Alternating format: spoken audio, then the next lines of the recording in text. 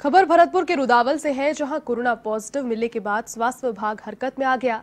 इस दौरान प्रशासन ने ज़ीरो मोबिलिटी क्षेत्र में कर्फ्यू लगाया है, साथ ही कस्बे के विभिन्न चौराहों पर पुलिस बल भी तैनात किया गया। इसके अलावा चिकित्सा विभाग की टीम ने कोरोना वायरस संक्रमित के संपर्क में आए लोगों की सैंपलिंग शुरू की।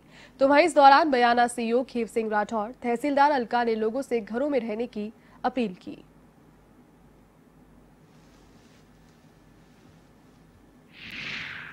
और जिला कलेक्टर साहब के आदेश अनुसार यहाँ ज़ीरो मोबिलिटी कर्फ्यू लग गया है, जिसमें किसी भी व्यक्ति को आने, जाने और घर से बाहर निकलने की अनुमति प्रदान नहीं की गई है। सभी प्रतिष्ठान बंद रहेंगे और जो इमरजेंसी प्रतिष्ठान है, अभी वही खुले रहेंगे, बाकी सब बंद